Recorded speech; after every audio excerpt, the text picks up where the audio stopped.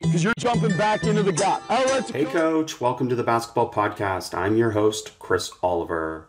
I appreciate you joining us for this week's podcast. Be sure to rate, review, and subscribe to the show, and visit basketballimmersion.com for more coaching resources and access to all the basketball podcasts. I hope you will give us a shout out on social media on Twitter at bballimmersion or on Instagram at basketballimmersion to help me continue to share the game. Enjoy the episode. Coaches, this one's a real treat today. Excited to have Joe Boylan with us. Is a he, basketball coach with 11 years experience in professional basketball. He has worked in player development for the Golden State Warriors, Memphis Grizzlies, and New Orleans Pelicans.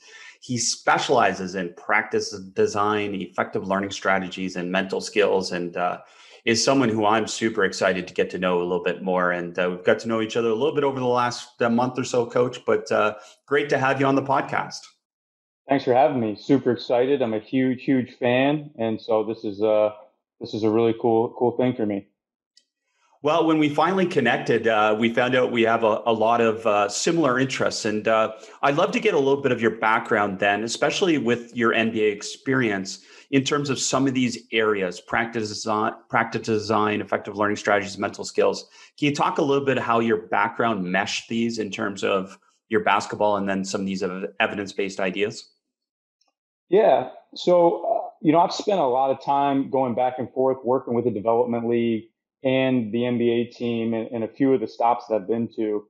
And so, uh, in that experience, I've kind of found how to connect different parts, different domains, because it was just a necessity.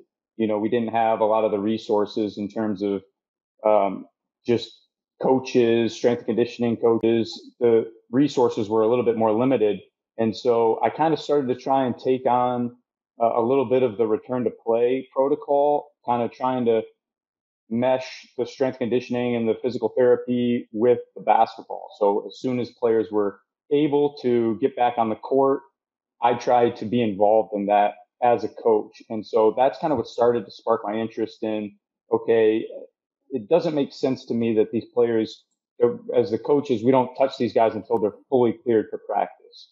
And I thought, you know, I, I want to get involved with these guys as soon as they're cleared for activity and try and find a way to make it basketball related. Um, and so through doing that uh, down in Des Moines, Iowa, with the Iowa Energy at the time, and um, working into the Grand Rapids Drive, and worked with some really good coaches that gave me freedom to do it. Then when I went to Memphis, uh, working for the Grizzlies, I met two sports scientists, um, two Australian guys named uh, Dean Little and Dave Taylor. And these guys were just so brilliant and had such a interesting and unique perspective. They were outside of the sport and they had come in and they just had all these very simple but just thought provoking questions about the way that I was working players out, the way everyone was working players out. I just happened to ask them for feedback, I think more than, more than others. And so I would, I would ask them to audit my workouts as I was working players out. Just give me feedback from your perspective somebody that's not really has specific basketball background or specifically worked in the NBA.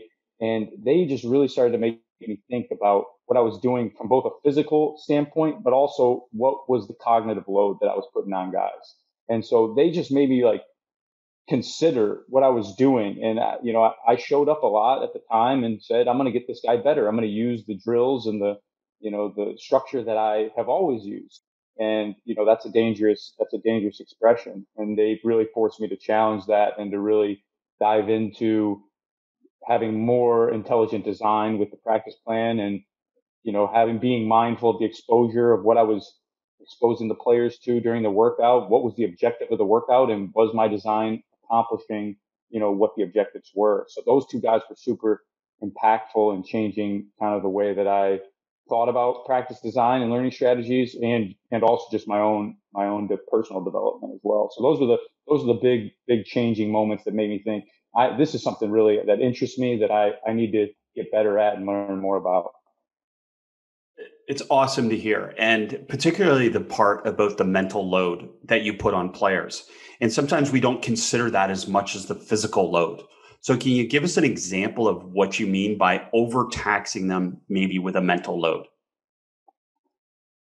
Um, Well, I don't overtaxing. I, I, I don't know if that's the, the term I'd use. I just think that the there's a sliding scale of what we're asking to play in a game. There's there's very rarely the opportunity to check out mentally, as we know.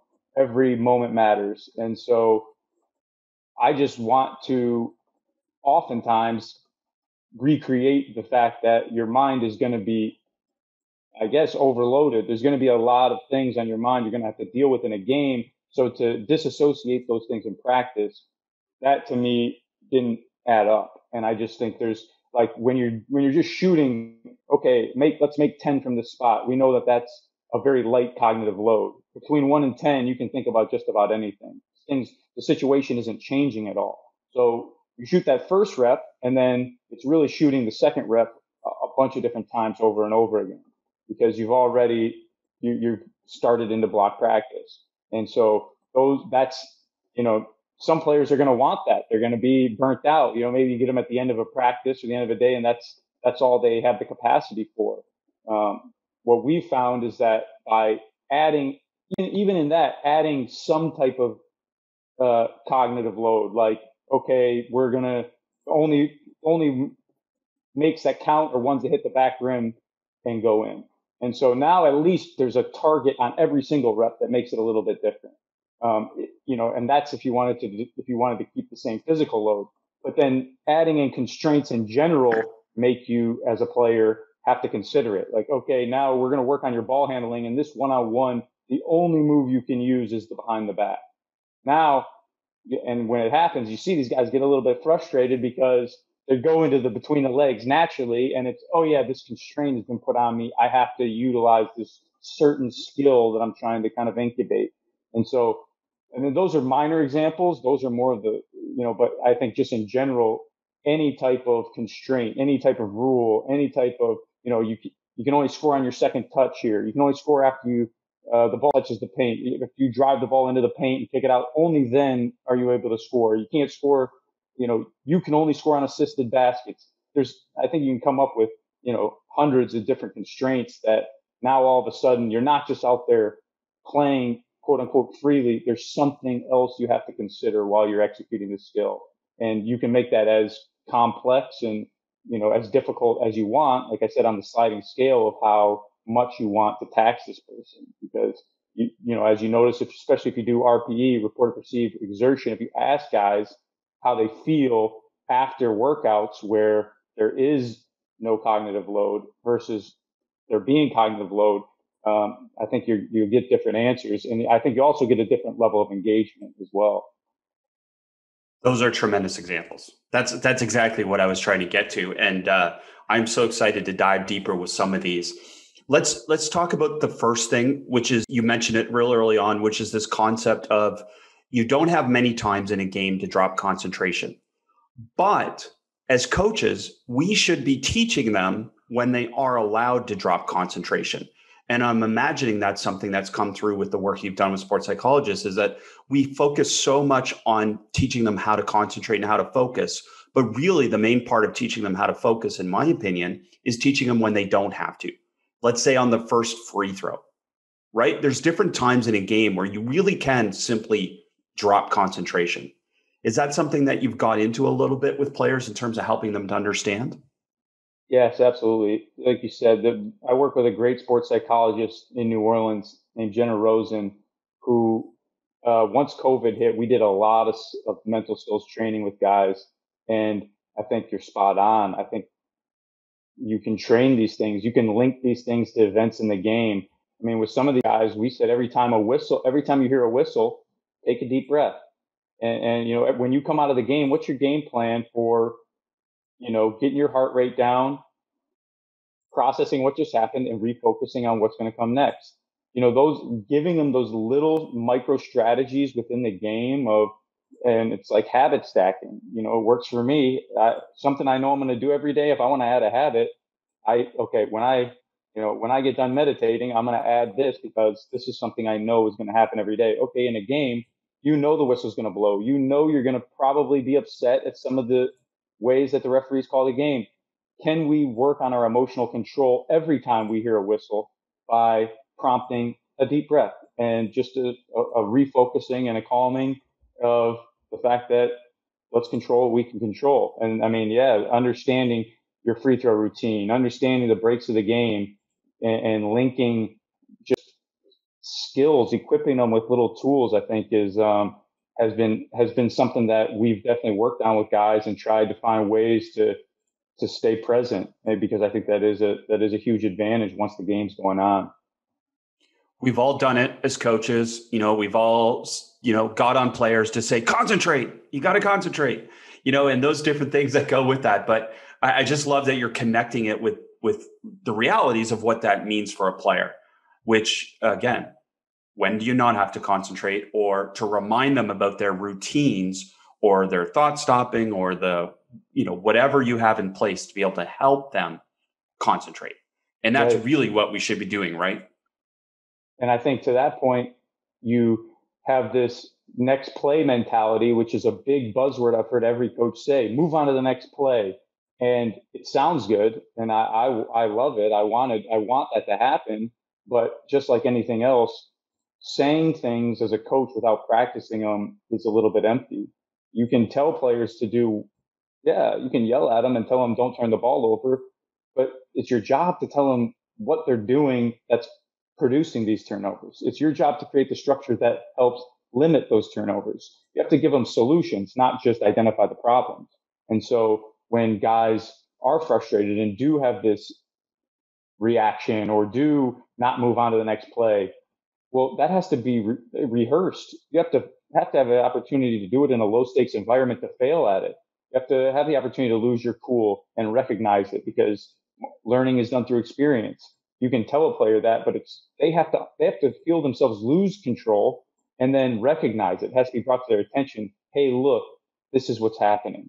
And so that's that was another part of our practice design was trying to push those buttons. You know, we would play we played a lot of competitive games um, this past year, but over the past couple of years, really since I started working with these sports scientists, where I said, this is something that is every player can would benefit from improving in this, and no one else is working on it. So let's let's gain a competitive advantage over other people by within competition. I'm I'm gonna mess with the game as the coach. I'm gonna change the score. I'm gonna I might switch the teams mid game. I'm going to make some bad calls as a referee. I'm going to do things intentionally during competition where you're already emotionally charged to make you upset, to make you frustrated.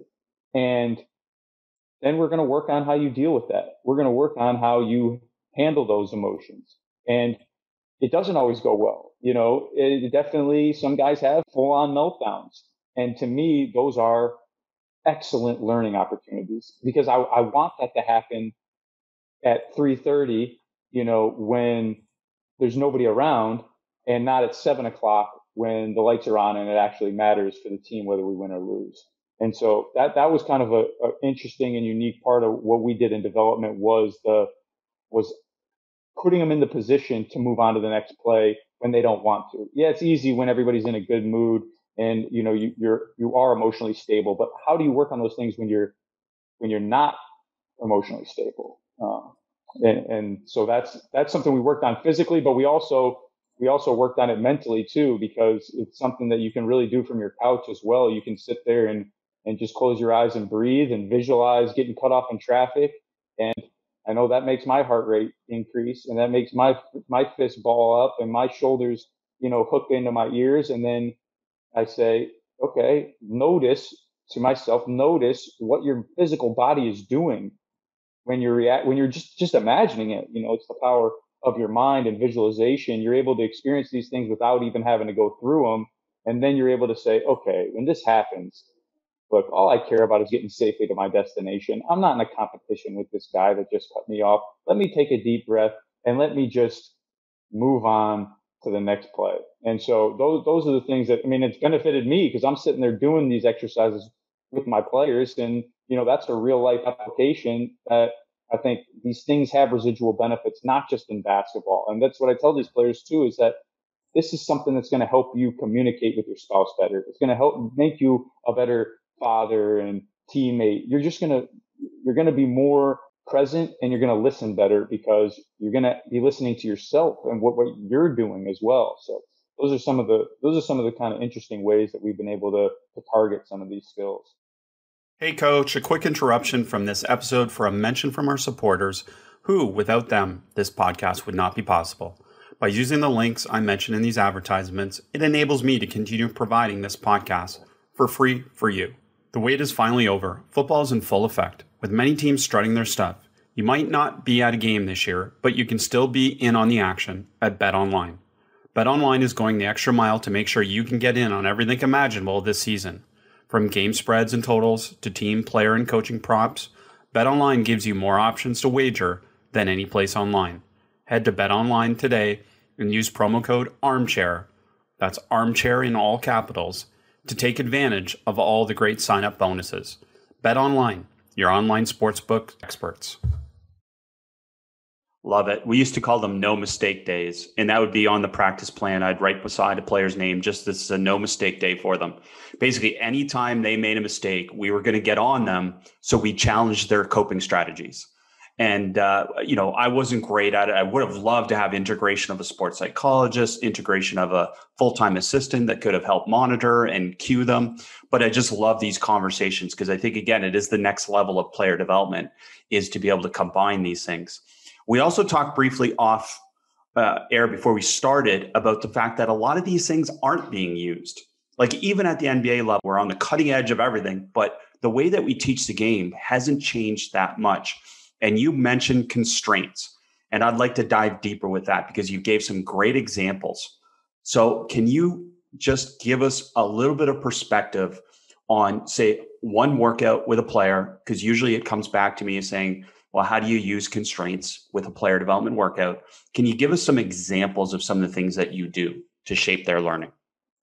Yeah, absolutely. Uh, I think to me, constraints are the you know it's the gold standard for me. I'm I'm I hope that my work is done by the time that the workout starts. I'm there to definitely give feedback and help guide and adapt if necessary. But I've changed my philosophy from my work starts when I show up on the court and I got to, you know, get a good hour or 90 minutes worth of work in with this player to before I show up, I have to have the structure in place that allows him to learn on his own. And so I just want to create kind of the, the, the structure and let him kind of falter and, and learn for himself within that, within those things. So with that being said, yeah, the, the constraints for you know, just using the most recent example, you know, we had a, a bunch of young players in New Orleans, all with different development goals. And so taking the time to identify what is it that we really want to help boost for this player and what's the constraint that will help them achieve it and then let them go and let them figure out how to utilize it. And so what we, one of the ways we would structure workouts our player development is we would take about 10 minutes and everybody would kind of have an individual, maybe two guys at a basket to try and get warmed up to target a specific skill. So, you know, it might have been fishing for Lonzo. It might have been, you know, shooting for Brandon Ingram. It might have been, uh, some type of defensive or defensive rebounding for Jahlil Okafor. So those three guys might be on different rims working on a specific skill just to kind of get warmed up, get a little sweat going. And then we bring those guys together. And then in a three on three or four on four setting, we would say, okay, this first game, we're going to play to 11. This is a Brandon Ingram game. You know, Brandon, we're really trying to help you understand ways to score quick, more quickly. We don't want you holding the ball. We don't want you depending on scoring off the dribble. There's so many different ways you can score. Moving without the ball, cutting to the basket, crashing the offensive glass. And so we'll say the first game, yeah, Lonzo and Jahlil, you're part of this game. You can score too, but the point of this game is to get Brandon shots without the dribble. And so Jahlil, Lonzo, you guys have no constraints, but the only your team can score is that Brandon scores without the dribble. And so now it's within the team concept. Now even his teammates are, are starting to look for how are we going to use Brandon in this different way? How are we going to help him see these different ways that he can see the game. And then, so we play to 11 twos and threes against coaches playing defense. We have the realistics in our hands and we're, you know, showing them disproportionate length. We want desirable difficulty, you know, and so with coaches, sometimes we're forced into action to have to kind of provide the reads and the looks. And, you know, some of us aren't very realistic defenders when it comes to what they're going to be facing in the NBA. So, you know, we have these sticks that give us these eight foot wingspans so that we can be in passing lanes, deflecting passes, poking at the ball, making them have ball security. And, and even in those things, to me, those develop passing and dribbling better than anything in a, in a block setting. Because this is the most realistic way to practice passing is do it against unrealistic length. Then it'll be easy when you're going against Andre Iguodala and you know Bam and all these guys that have seven foot wingspans. Well, you you pass against an eight foot wingspan, so the practice is going to be harder than the game. Um, and so we'll play games to eleven. If we get if they if we get a stop, we get two. If they make it, they get two. Game to eleven. We may play one game for Brandon. Then we may say, okay, this next game uh, we're going to start with Lonzo with the ball. The only constraint is Lonzo has to get two feet in the paint before your team can score. And now you know, I'm not saying, hey, you have to work on this left to right crossover, anything. Figure it out. You figure out the way that you can get into the paint because we want to work on you driving, being aggressive, making reads, seeing ahead of plays, attacking on the catch, dribbling downhill, drawing the defense, being more aggressive. And, you know, I don't have to say any of those things. I just say, this is the rules to the game. And all those things are achieved.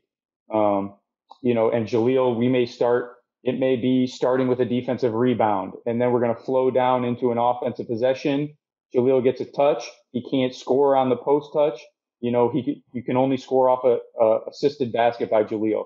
So now we're putting Jahlil in the post in pick and roll, but now he, he can't score. So now he's forced to kind of look at the game in a different way. So those are kind of just, you know, those are three little examples. That would be that'd be a day. You know, we might that's a 45 minute workout um, in terms of those guys doing individual coming together constraint games and then we'd all meet as a staff and kind of say okay what worked what didn't work and how can we how can we adjust these constraints to you know better target the things we're working on or target something else um, i don't know if that answered your question it, it, definitely answers and gives people a really in-depth perspective on it and uh, you know constraints are the things that shape learning and people are always somewhat unsure of what I mean by we can teach the game while they play the game if we use intelligent practice design around constraints, particularly.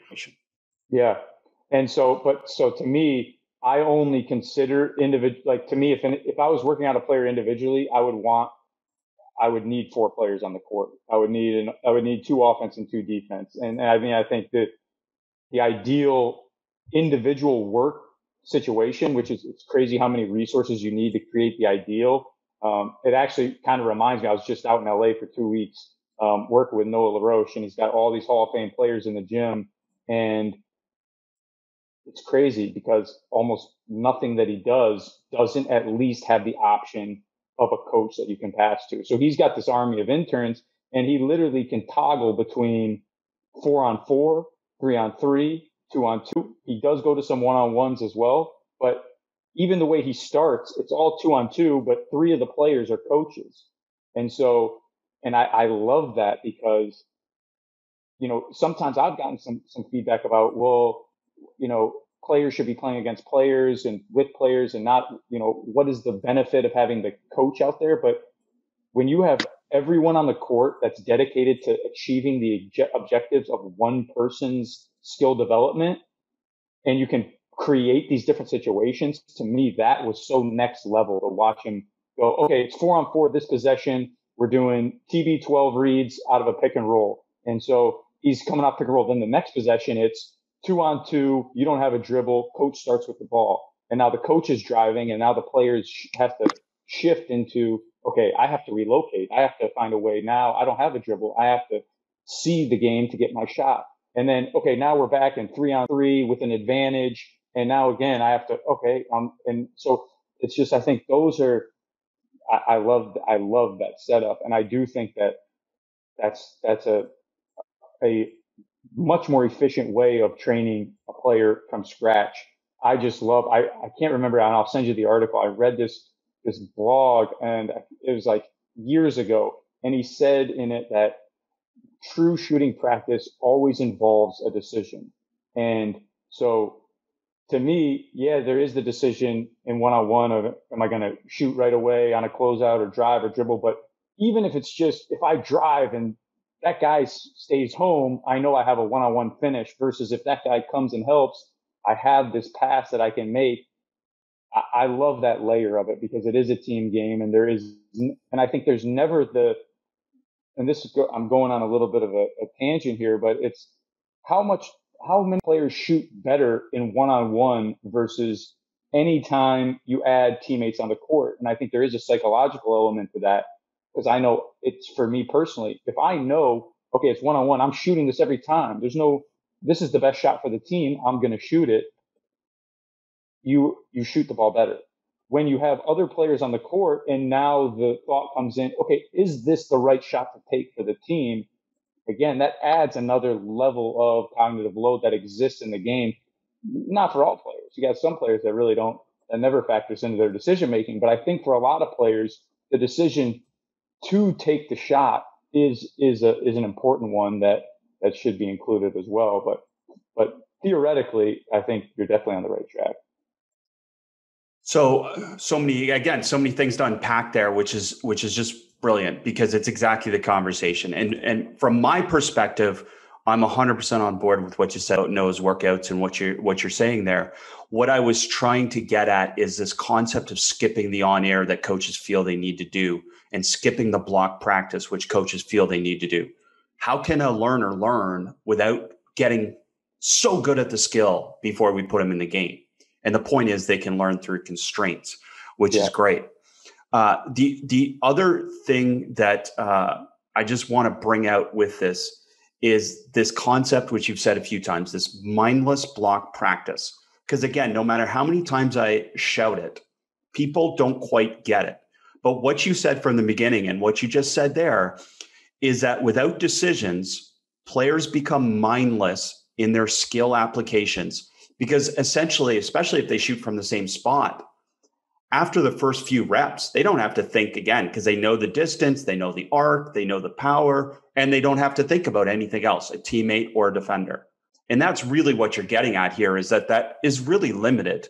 But I'm imagining at the NBA player, you still had to do a lot of that because that's what they're used to. 100%. That's what, I mean, it's the comfort level, it's the familiarity. Um, and it's also, I think it's easy. It's, it's mindless. Like, I mean, like you just said, it's, it's easy to get those reps up. I mean, and to your point, there's uh, you know, there's it's just like shooting free throws. You know, you shoot 100 free throws, and we've seen that. You know, that's a big thing. Coaches say, "Hey, we missed a bunch of free throws after practice. Everybody make 100 free throws." And I mean, even if guys do stick to the two and rotate, which they don't, you know, guys are going to shoot 10 in a row, and it's to your point, it's shooting the free, first free throw once, the second one nine straight times, and it's and guys no shoot them great in practice. Yeah, you know? no correlation between free throw practice in a blocked manner and game free percentage. And, and free throws, in fairness, for like a lot of basketball stuff hasn't been studied, but free throws have been studied. And definitely people should be beyond that because there's tons of evidence that suggests exactly what you're saying. That essentially is a waste of time for a player. So, can you talk about some different ways to do it? Yeah, well, one, we play so many games that free throws happen all the time. I call fouls all the time in workouts. Anytime in a workout you get whacked with a stick or any foul, we're going to put you on the line, make you make two for the point. I mean, we're going to create pressure situations where you got to make two with 10 seconds left when you're up by two, and it's going to either make it a one possession game or a two possession game. You know, I think those are dealing with pressure, I think is that's where people fail the most. And that's where this block practice and these external cues and these, you know, do this mechanically. This is the evidence says this is why people choke. This is why when pressure comes in, you're relying on this voice, this voice that's been telling you, oh, put your, tuck your elbow in and, and do, make sure your to- 10 toes are pointed at the rim. And I mean, these things are proven to impair performance, but that's not stopping anyone from using them because there's a, the, the feedback loop is it's a big time endorphin hit. Your ego gets stroked every time you say, shoot the ball a little, get your elbow up a little bit higher. And then the next shot goes in. As a coach, you feel like, yeah, I just helped that guy big time right there. That was me. And as a player, you actually have the same conversations. That's the interesting part is we have this inner dialogue too, which comes from the inner game of tennis. And it's, you say, you have self one telling yourself, Hey, you got to make this shot, man. Like we got to do this. And then if it works, you, you get that pat on your back. I did that. I told myself I was going to do that instead of just letting yourself do it, which you're perfectly able to do. A lot of these guys can throw the ball into the rim from 15 feet, from 25 feet, from wherever. They can do it physically. It's a matter of do they allow themselves to do it or do they want some type of little ego boost in telling themselves to do it?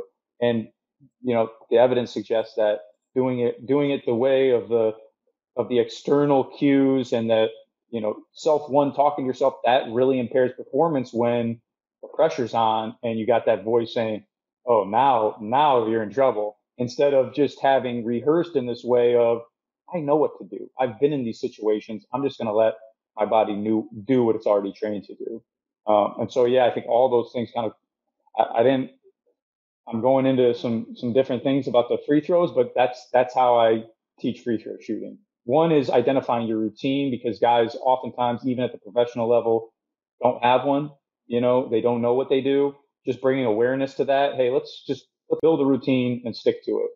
And, and you can change it. You know, JJ Redick changed his routine multiple times during a season to keep it fresh. Guy shoots 90%. So I'm not saying that it's like a immutable, you have to do the same thing every time, but have a game plan because that's something to think about besides, you know, the fact that oftentimes there's 20,000 people in an arena looking at you all at once when a free throw comes. Um, so yeah, just trying to recreate real situations where you're going to the free throw line to make two. If you make two, you get the point. If you don't, you don't get the point. And also creating pressure situations where it's uh, the stakes are a little bit higher because it's easy to it's easy to walk walk along a balance beam when it's on the ground, but when it goes up to about you know 2,000 feet, uh, uh, people walk on the on the beam a whole lot differently. And so it's it's trying to create that little sense of in a low stakes environment some of those different situations. Did you did you ask JJ why he actually changed his routine? Because I think that's brilliant. Because again, it's keeping it fresh, as you said. But did did he explain it to you? Yeah, that's what he said. Yeah. He said, "Yeah, I, I want to. I like to do it so it gives me something else to lock in on. Oh yeah, that's right. I've added this shimmy, you know, at the end of my routine now. Um, yeah, because a routine can become complacent right? right? Like that's that's brilliant. I love that he changes that. Yeah, you know, and uh, become a rut. Yes, yeah, that's tremendous. Hey, another thing, like just a great thing that you said earlier, and I want to come back to. You you talked about adding cognitive load when someone's shooting and saying, listen, only the back rim counts. So I had a skill acquisition motor learning professor talk to me once about what shooting perfection actually is and they brought it to my attention, which I thought was brilliant, that actually learning how to miss in a spot, say left rim, would lead to more shooting improvement than trying to make clean swishes. And it's exactly what you just said there is that it just heightens the cognitive load and concentration. And I don't want to skip past it because I thought it was a tremendous thing. Can you talk about your experience in using some of those ideas? Absolutely. I totally agree with it. It's I mean, it's so, and, and like you were saying, a lot of these guys are going to want to shoot spots. So I'll say, okay, uh, your first spot is with your heels on the three point line. Your next shot is two feet behind the three point line. So we're going to work on your, you know, motor control. You know, yeah, I, I don't want you shooting mid range shots in the game for this reason, because up until the very end of the game or the end of the shot clock, we can get a much more probable point points for this. We can get higher efficiency than this dribble pull up that you're taking. So that's why I don't want you to shoot mid range in the game strategically. But as far as motor control, yeah, we're going to shoot mid range. Yeah, we're going to shoot deep threes. We're going to shoot from all over the floor. And, and I mean, even working on free throws, uh, you know, during, during the, uh, the quarantine, when we were getting guys back, working guys one on oh, I wouldn't even let guys shoot from the free throw line. I, I made them shoot a step in and a step behind the free throw line. Again, motor control, and it goes back to the exper- experiment about tossing the bean bags, where they said that one control group only did uh, near and far tosses, and the other one only practiced at the competition line. I think it was like a 15 foot toss. And one group only practiced at 12 and 18 feet, and one group only practiced at 15. And then when they came together and they and they the group that practiced at 12 and 18 never practiced at the competition distance, they crushed the other control group. And so I just think, why wouldn't I apply that to my free throw practice or any other practice? I just want to stop you because again, brilliant things you're bringing out there about that variability. The reason is, according to the research, is because we avoid that mindlessness where they have to think on each repetition. And what thinking does is it cues this retrieval process where I have to retrieve information about a prior rep. And then retrieval process leads to this retention process, which means it leads to this permanence. And it means that they learned it better. And that learning obviously leads to that. The other quick thing I want to throw in there I don't know if this is true, but somebody told me once that Larry Bird did this that he never shot free throws from the free throw line, exactly like you said. And he'd work his way progressively back to the three point line with his free throw routine. Because again, that same application of what you just said. Brilliant stuff. Sorry to interrupt, but keep going. No, yeah, yeah, it's very Bird. I would definitely believe Bird would do it based on the way he shot it for sure. And I mean, you look at Bird too. It's funny because he's a guy at the free throw line that's not holding his follow through. It's like there's so many of these things that you know we're we're constantly hearing in the gym. Hold your follow through. And I mean, I charted it because I want to help players get better. So I thought, it's, I, I've said this for so long. Is there anything to it? And then I went and charted all the makes of the players that I worked with. And when they held their follow through, they were not more likely to make it. In fact, when they shot it and they knew it was going in, they almost never held their follow through. Once the ball was gone and you knew it was going in, there was no reason at that point to hold your follow through. So I just was like, is this an identifying factor of a good mechanics? I mean, I don't, I don't, I don't think it is. And so it's just an interesting thing, like the 10 toes to the rim and the holding your follow through and these like, these established coaching cues that when I actually watch or don't cross your feet on defense, there's like all these things. Then I just watch the best defenders and the best shooters in the world constantly do the opposite all the time when it's time to compete. And I just, we just haven't, we haven't caught up to, to teaching, teaching the actual, what we're seeing on the court. It's still a lot of what we heard when we were, when we were growing up.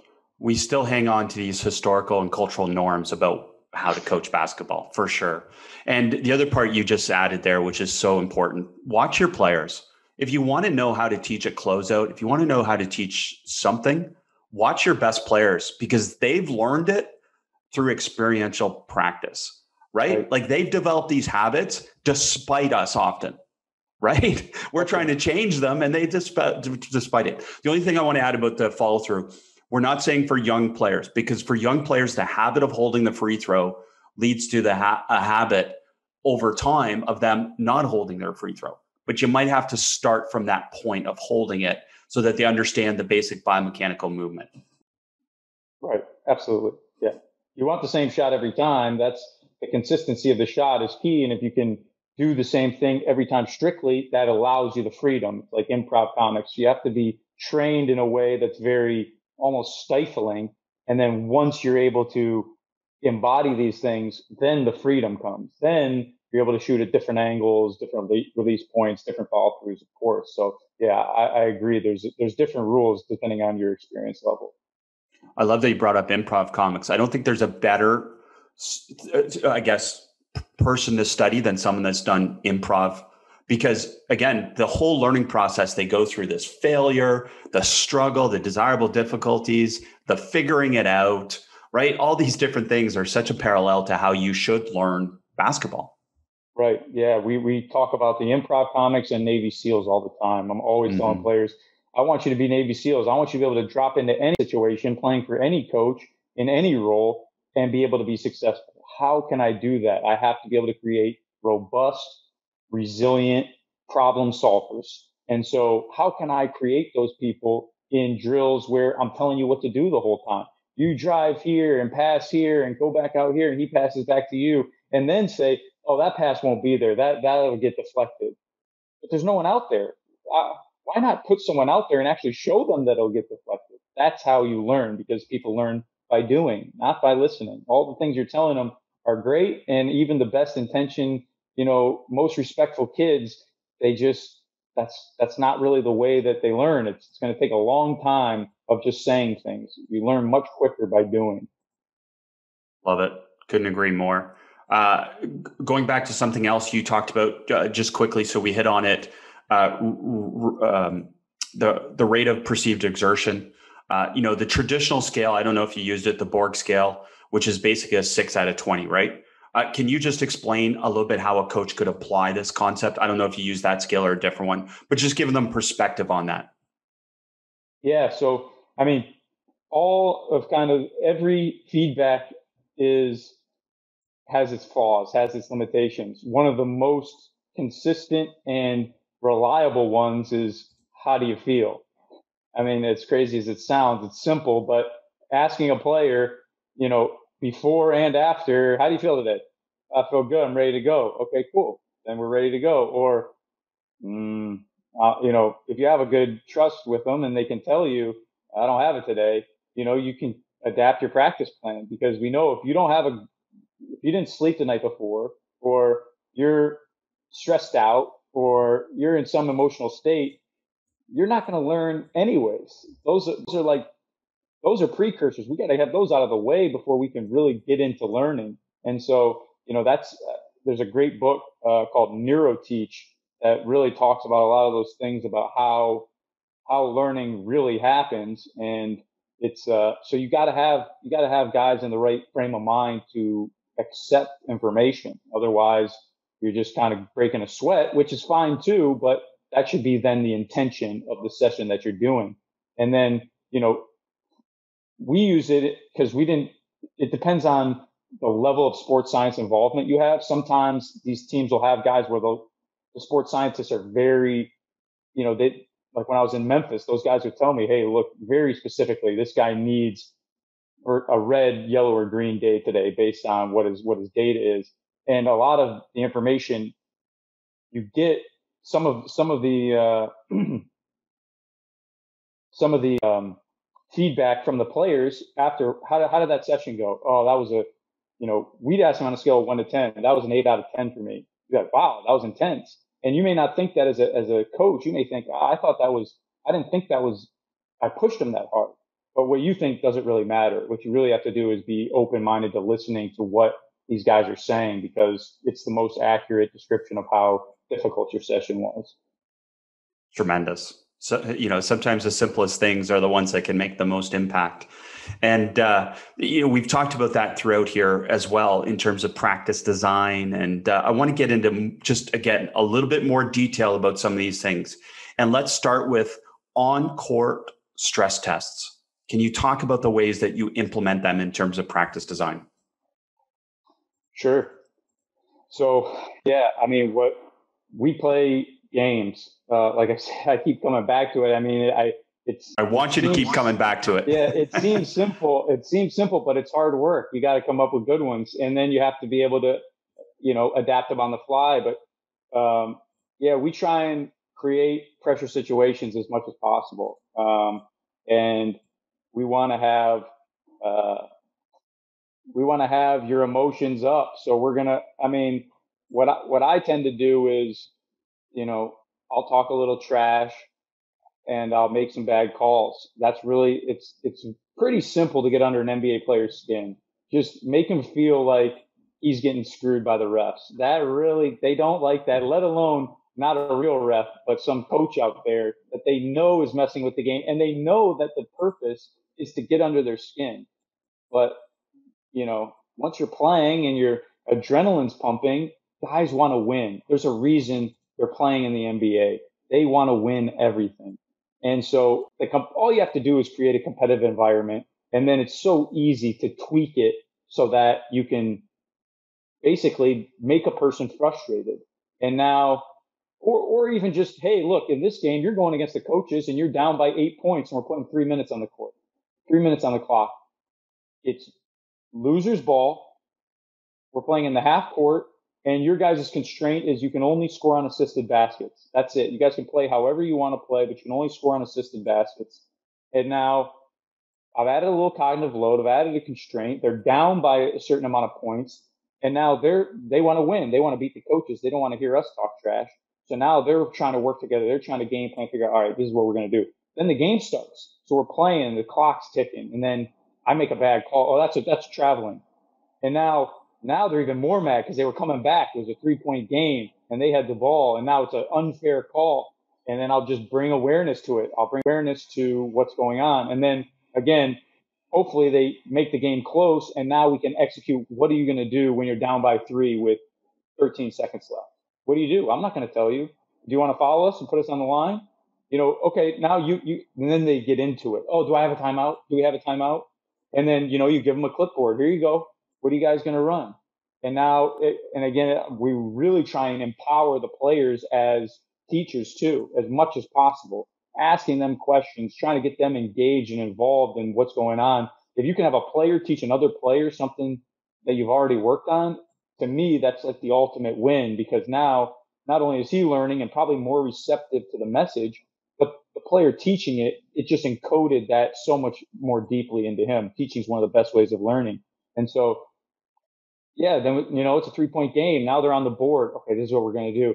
Then maybe we take a foul. We foul up three. Now we're sending the free throw line. We're working on free throw practice under pressure. We're telling them if you miss this, the game's over. Then they got to make free throws under pressure. They get the ball back. Now they, you know, we give a guy an opportunity to make a game winning shot. Um, and so things like that, just trying to make, it's just like low stakes testing. Like a big thing for us is just test. You got to test. You got to test all the time because that gives you information as the coach on where they are. It's just a way of measuring, okay, have they learned this? Or where, where are we? Where are we constantly trying to refine and adapt what we're teaching and how we're teaching?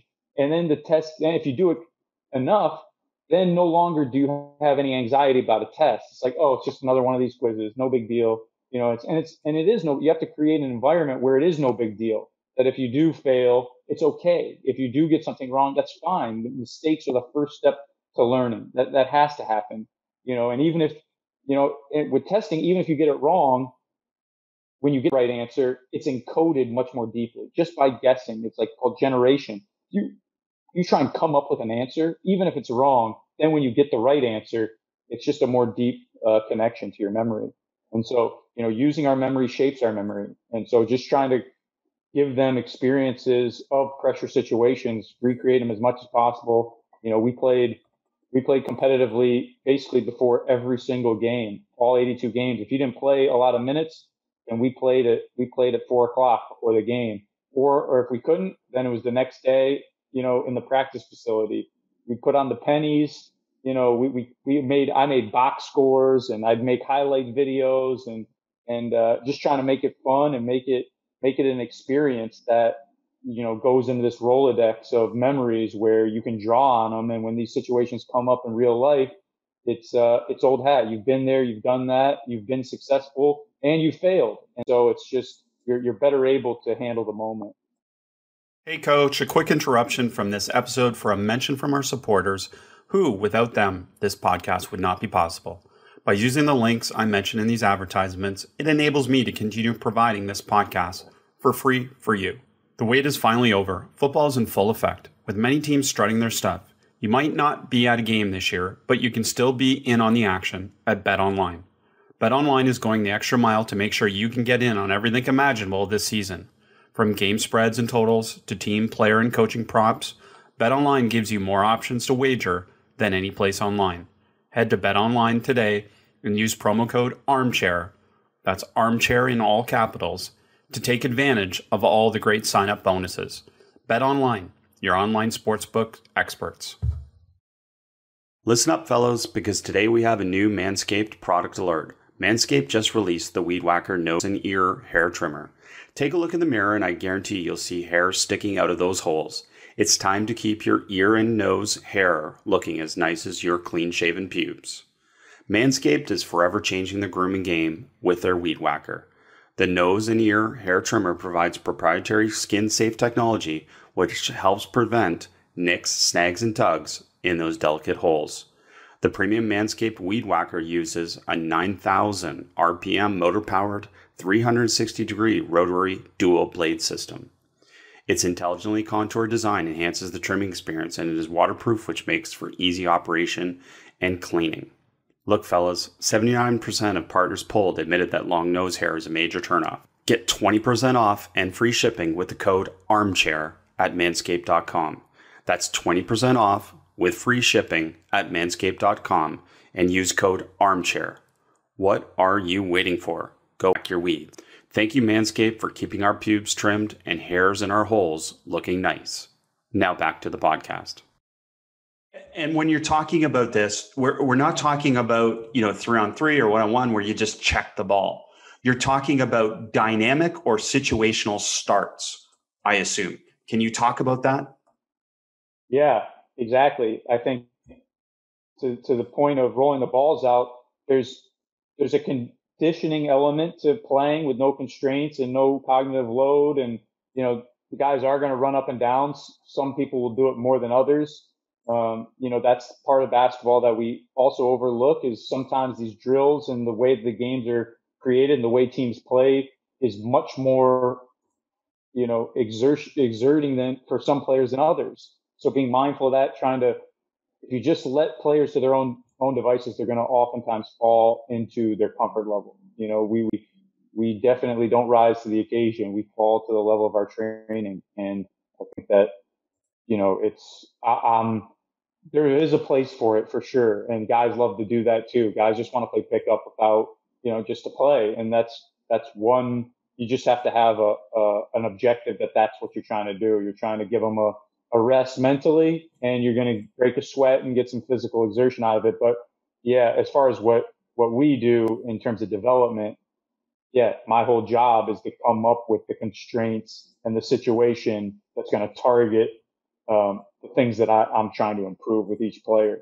So yeah, creating the, the game situations, the different, the different situations, different constraints, and then the, the, the curveballs too, because even when I say it's going to be one way, I could change it and you have to be willing and able to stay present and still be competitive and still win despite, you know, things that are, that are out of the ordinary because that, that's going to happen. That's the game and that's life.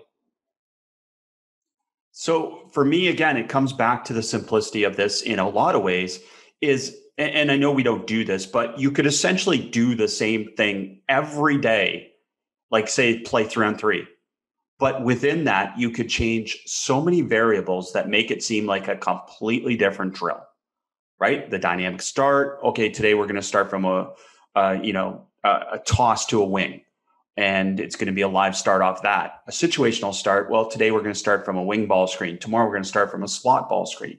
Well, and then even more so, all the things that you've talked about already, you can manipulate the constraints. This has to happen before this can happen that type of mindset. It's just tremendous what you can do with practice design if you understand how to use these things. Yeah, no, exactly. Yeah, an advantage. It's at an advantage to start. Now, there's no advantage. You have to create the advantage. There's all these different ways you can start. We're starting, uh, everybody's at half court, so we're flowing into a semi transition. Oh, we're starting with the corners filled.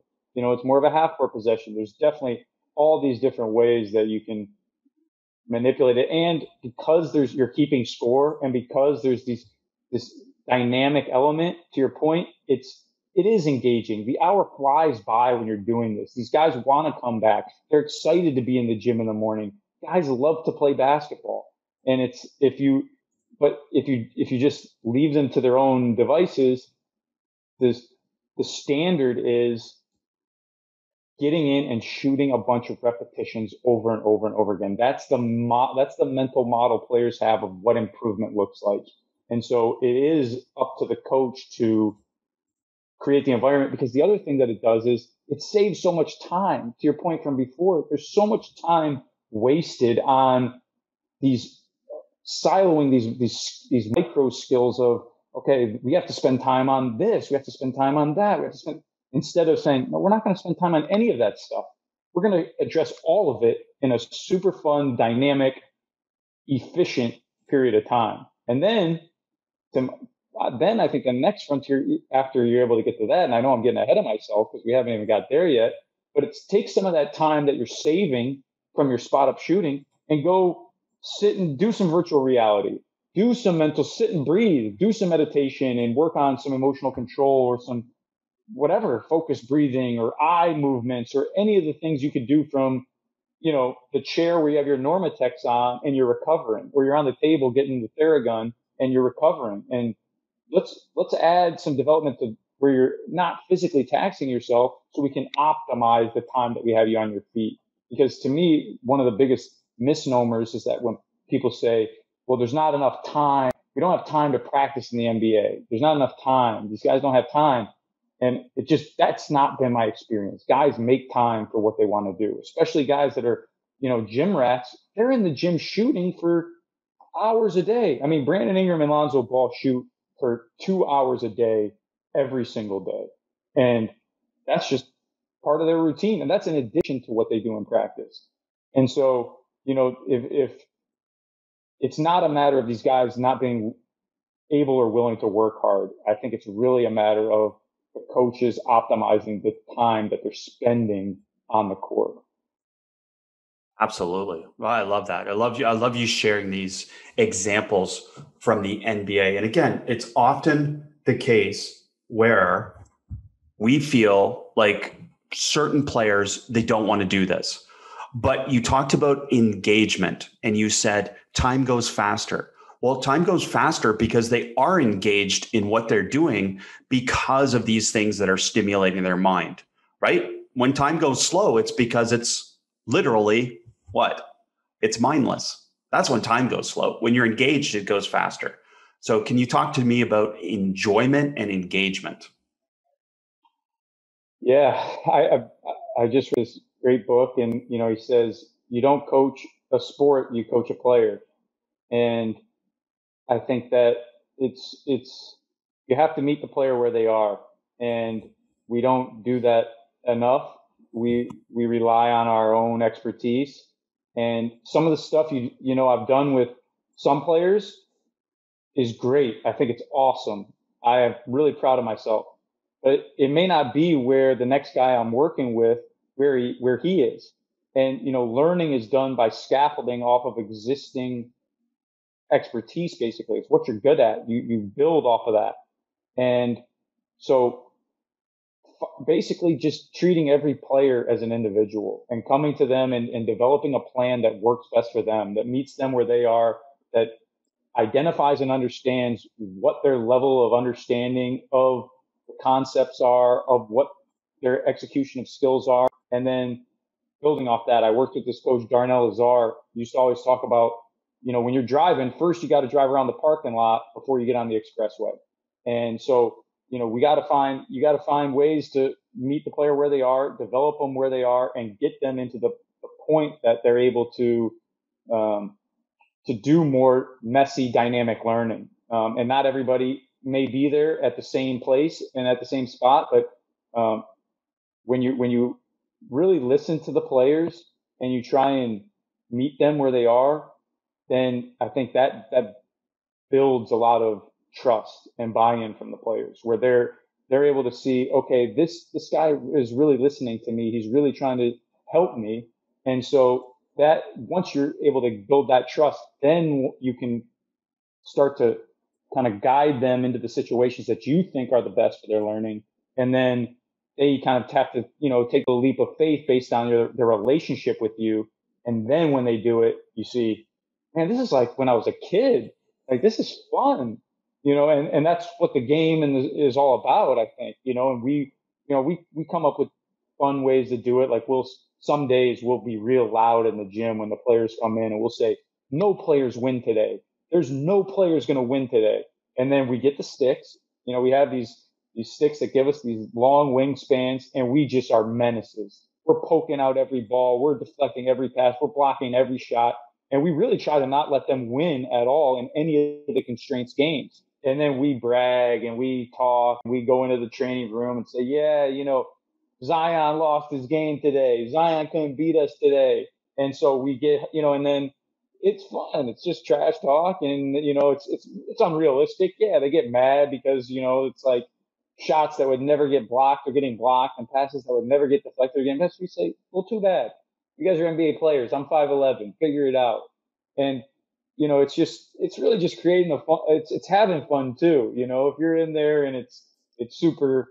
You know, we got to take this super serious. Then I think it's a little bit harder. But you know, we're having fun too. Believe me, it's uh you know, when we make them guard us, and if we make a shot, oh man, I got a I got a highlight tape I can send you that uh, you know these guys these guys don't want coming out on the internet of me making shots on guys, and you know I put some music behind it, and so yeah, that it's the engagement is is it's about finding you know what makes every player tick, and you you just there's buttons for every player, and you just got to find them, and and all you got to do is is ask some questions and listen to them, and they'll tell you for the most part. And, and if you're able to, if you're able and willing to adapt to, you know, different people for different situations, then I think it's it's really easy to get engagement when you're playing games because everybody likes to play, everybody likes to compete, and and at this level, you know, these guys want to win. It's something that keeps them coming back. And if, after those days where they lose, oh, they're itching to get back on the court the next day. They can't wait to get us back, and uh, and then they usually do. And so that's kind of the that's kind of the back and forth we play is, you know, is, you know, sometimes making it more challenging, even to an unrealistic uh, extent, just to give them that challenge. Because that's, that's the thing. These guys are, these guys are the best of the best. And if you don't challenge them, it, it, it gets mundane. Tremendous. And I, I don't want coaches to just think this is the NBA level. This is something that we should be doing at all levels of basketball a lot more and using a lot of the things that you've talked about about practice design not necessarily the trash talking part of it but everything else applies to all levels because there's two parts to that one players love to be engaged they love to know that they're improving and two they love competition and if they don't love competition we have to teach them how to love competition so score and these different things like i'm a big believer in we should teach them how to lose we should teach them how to win and the only way to do that is to compete at almost everything we do. And uh, you know, that's that's got to be a part of this, right? Yeah, absolutely. I love that. It's so true. It's so true. You got to anything. We focus, concentration. To your point earlier, those things can be trained. You can't just. It's too easy as a coach to say, whatever. He's a dumb player, or he's lazy, or he doesn't. You know, he's all these things that we like they're finished products. Like these 19, 20, 21, 25, 27 year old people are, that's it. They, they, can't improve. Well, I'm not saying that they can or can't, but unless we've addressed it and tried to develop it, I don't think we should say that this is their final form. And so, yeah, I mean, absolutely, totally agree. It's great stuff. And uh, one last thing, uh, we could talk forever, but one last thing might be these conversations that you have to have with players to explain your methods because again this is foreign to them it's the same thing i'm having conversations with so many coaches they don't quite get some of these methods. It i think it intuitively makes sense but you have to explain it. Can you talk about that process? Yeah that's that's key. That's a great point by you.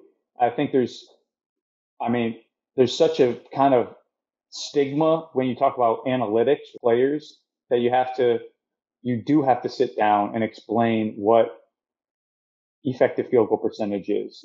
You have to explain to them what a 40% three point shot looks like over 82 games. Yeah. I mean, and my experience is it has been for the most part, they're extremely receptive and they don't understand the information as well as we give them credit for we think that they know exactly, they know that the, the three is more valuable and more efficient, but they don't care. They're stubborn. They're stuck in their ways. They want to shoot the pull up two. You know, they're going to, that's their game. They're going to do it. And it's, that is their game and they are going to do it, but they oftentimes don't even understand the why behind why these coaches are now telling them we want to take away these dribble twos and get to the rim or kick out to shoot or create more driving kicks so we can get these shots. It's like, why? Why are we doing that? And so just, I mean, yeah, that's, you have to visualize the data in, in, in interesting ways, um, in different ways. You know, I have, I do shot charts with the adjusted field goal percentage on them. You know, the hot zones. Um, you know, I do the points per possession. Um, you know, you just, I just try and hit them with so many different ways of saying the same information um, from an actual data standpoint. I think that's key. Sending guys just even their cleaning the glass snapshot or their synergy snapshot says, hey, look, off the dribble, you shoot, you know, you, you're a 0.9 points per possession. Off the catch, you're 1.1. Take with that what you will. This is just information, you know, and down the line, hey, look, on your on your uncontested shots, you shoot 1.3 points per possession. On your contested shots, you're 0.8.